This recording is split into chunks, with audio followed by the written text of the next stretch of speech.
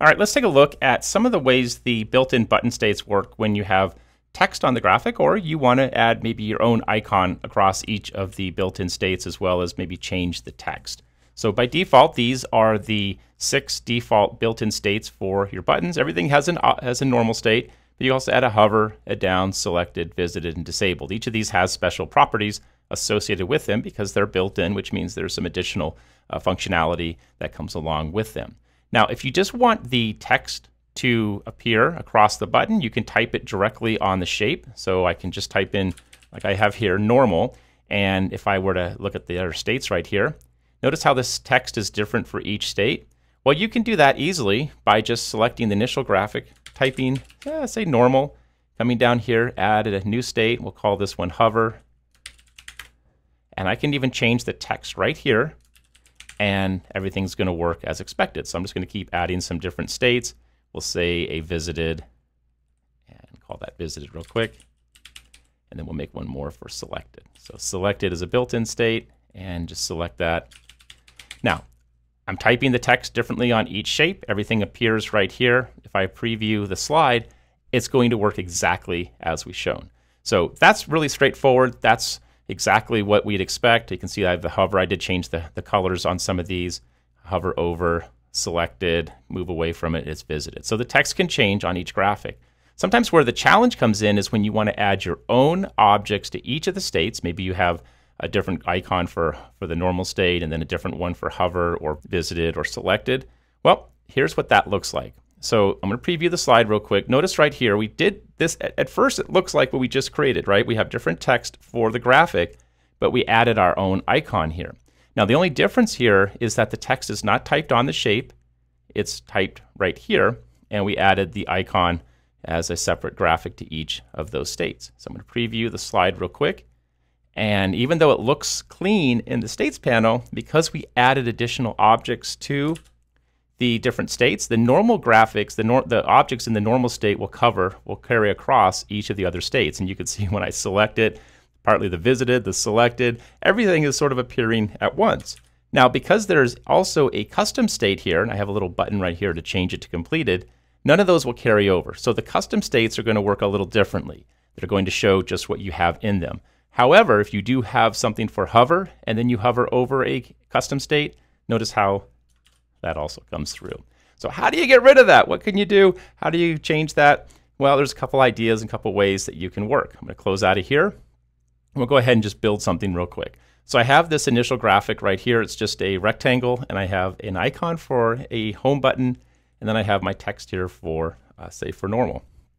So what I'm going to do is copy or actually cut each of those to my clipboard. So Control X, just so I can hold on to them and I want to edit the states of this first graphic. So I'm just going to choose Edit States, and then I can paste those two graphics, Control V to paste them directly into my uh, shape. Okay, I'm going to create a new state, and I'm going to call this one Hover. All right, and notice how it doesn't show anything in here. Now, it would appear if you're just editing this that great, I can now add my own text, I can add my own graphics, and it's always going to be uh, really clean and just fine. Well, if I'm going to change the background color just so we can quickly see the contrast, if I preview this, even though those graphics in the normal state are not showing, they are going to appear when you hover over. So because we added objects to that normal state, they're just going to be visible across the other state. All right, let's show how we can edit this and then uh, not have those appear. So I'm going to change that back to white. Actually, that one back to white. And we want to work with a couple options here. So one thing I can do is just copy the graphic right here in the state. So select it, Control C to Control V. Now what I've done is I've just really made a copy of it. I'm going to paste it directly in place. And now I can begin adding my objects that I want to show. So let's say if I wanted to insert another icon here, a different one. I've got one here in Media Library. That's fine. Just choose Insert. Scale it down and then Control T to bring in some text, and let's call this one hover state, right? And I'll just position that in place. And I would probably want to grab, you know, the size, the position of each of these other text objects there. But now I've got something completely different here for the hover state. Let's preview it and see what it looks like. So by copying that background, we're essentially hiding what's underneath it. Now you can see it's kind of shifting a little bit here, so I'd want to go back and make sure I put that entirely, you know, directly right in place to uh, block that. So I just come in here and make sure it's at size and position. And that, see, was just off one pixel.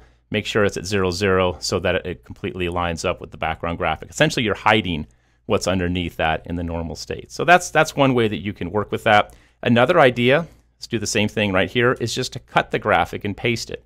So I'm going to copy these two. I'm going to cut these to my clipboard. Here's a, another rectangle, kind of the same thing we just did, only one other option, and that is edit states. Let's just get those initial graphics in place right here.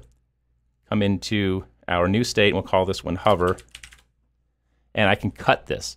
So I can just right click and choose cut or control X. It's probably a little faster, control X. Now there's nothing here on the shape. Control V and make sure that's at zero, zero. And you can see up here in the format that we're at zero, zero. So it's right there in place. And now we can just begin adding any graphics we want for it. So I can go back to insert, media library, different graphic here, and text.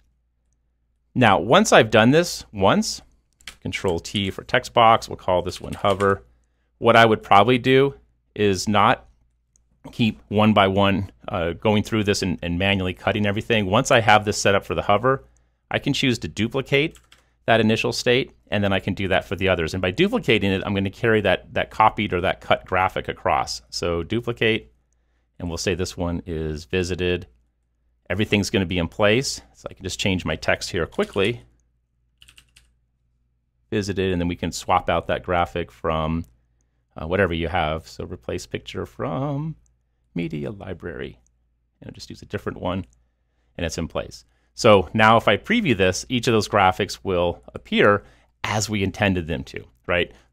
So there's the hover, and then if I click visited, nothing's peeking through. Click it again, and now it's still visited. All right. So another way to get around this, and this is what a lot of the custom developers will do, and that is just to work with your own bitmap graphics. So make an entire button set out of graphics, and then you don't have to worry about any of this. So these are all just PNG files that have been created. So for example, right here, I've got a selected state. Let's just add a new one from picture media library. Then I should have these buttons in here somewhere. There's my normal state button, just a bitmap image. And then one by one, I would create those states or import them if I had them in an external file. So we'll say hover, now the benefit to doing this, and I can just replace this graphic now, right? Replace the normal, replace picture with a picture from media library. And we just need the hover. There we go. Perfect. And so you can add as much detail to these as you like. And because they're images, they just have that data, that detail, and you don't have to worry about doing all those other cutting and pasting with the graphics. But again, you would have to create these in like PowerPoint or a graphics program to set those up and then export them as PNG files to bring into Storyline. If you don't want to go through all that trouble or that all, that all that extra work, just look at cutting or copying that shape from the the new states that you create to hide really what's on that normal state, and then you can create as many different states as you like that just change over. Uh, the graphics can change over each of the states. Okay, hope that's helpful.